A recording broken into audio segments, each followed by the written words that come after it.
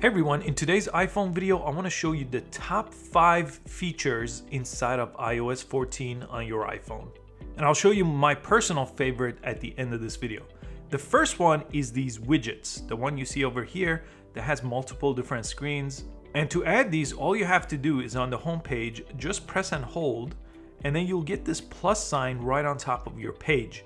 Depending on your screen, it may be on the left or the right side. Press that, and it brings you to this whole world of widgets. And there's variety of different sizes here that you could choose from. So for example if I wanted to add this stock one I could just tap it and I could see the different sizes that I could get. So there's variety of different sizes. I'll choose this one and I'll press add widget here.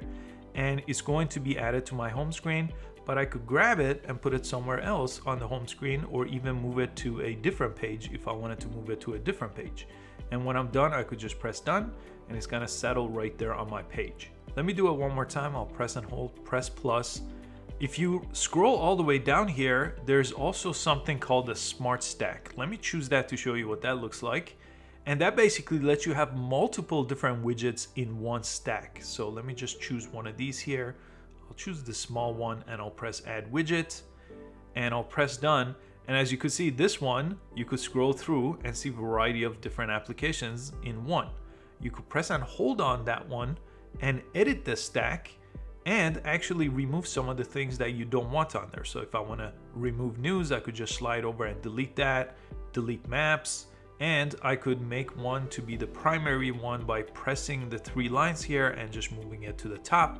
And just like that, if I press X, the first one will be the clock. And now this is what my homepage looks like. The second update is called an app library. So if you're like me and you have a lot of different apps on your phone and taking up a lot of pages, what you could do is you could go all the way to the last page and scroll over one more time and you'll come across this page called app library where you could basically see all your apps categorized in different folders. So social, for example, you can see all my social apps are all in one place. I make a lot of how-to videos, so I happen to have a lot of apps more than usual people, but it's nice and organized this way. And I could just click on top, search for an app, and open it that way. Very, very useful option right here, instead of going through a ton of different pages. Also what you could do, let me come to the bottom here, on this empty area, I'm gonna press and hold, and now you could see I could remove any app I want from any of these folders just by pressing X on it. But if I double tap on this empty area, I'm gonna double tap on it. I'm gonna get this page where it shows all the pages on my phone and I could actually press the check mark under them to hide those pages so I don't have ton of pages to go through. So now if I press done, it's reduced some of the pages on the bottom. I still have quite a few, so I still would have to do that with some pages. And another option that's useful if you have a lot of pages, you could press and hold on this bar here and go left and right much faster than just sliding through each page. So if you want to get to the last page, you could just slide your finger through these dots and get there that way and come to the app library. Update number three takes place in your messages. So let me go to the messages here. And now inside of your messages, you could pin your favorite people right on top like I've done here. So let me show you how to do that. All you have to do is from one of your group chats or conversations on the bottom, press and hold on it. And as you can see here, it says pin.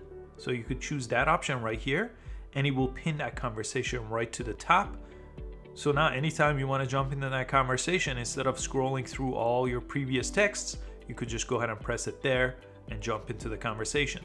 Anytime you want to change that, you could press the three dots on top. You could edit your pins here. So now you get an option to pin any of the other conversations you have here by pressing the yellow pin option or pressing minus if you want to remove any of them from the top and that's pinning conversation to top up messages on iOS 14.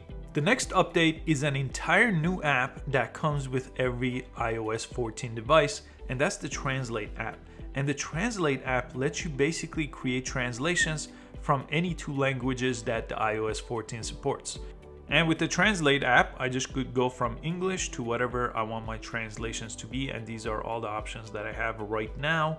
So right now I'm going from English to Spanish. So if I type out text and press go, just like that, it's gonna translate it from English to Spanish for me. And I could even press the microphone if I wanna just dictate what I'm saying and let it transcribe for me automatically using this option.